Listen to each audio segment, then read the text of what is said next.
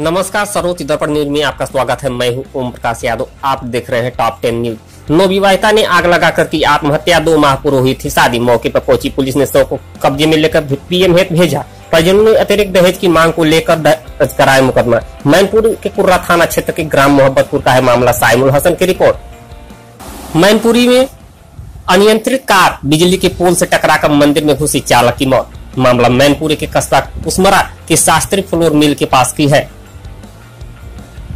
अनिल दीक्षित की रिपोर्ट।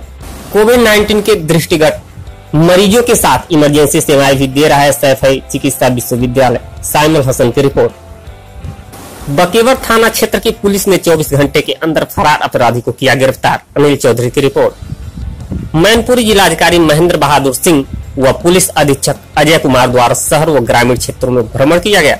साइमुल हसन की report. Lockdown के दौरान इटावा कचहरी में लगाया गया स्वचालित हैंडवाश अनिल चौधरी की रिपोर्ट। पुलिस अधीक्षक देवरिया द्वारा फुखंदू थाने का औचक निरीक्षण किया गया तथा वहाँ उपस्थित पुलिस बल को कोरोना वायरस के संक्रमण से बचाव हेतु जागरूक किया गया। अनिल कुमार वर्मा के साथ मनमोहन जायसवाल की रिपोर्ट। एक सौ इक्यासी दशमलव पाँच रूपए सस्ता हुआ घरेलू रसोई गैस। घरेलू इस्तेमाल का सिलेंडर पाँच सौ बानवे दशमलव पाँच रूपए में उपलब्ध होगा। प्रशिकांत और संदीप गौतम की रिपोर्ट।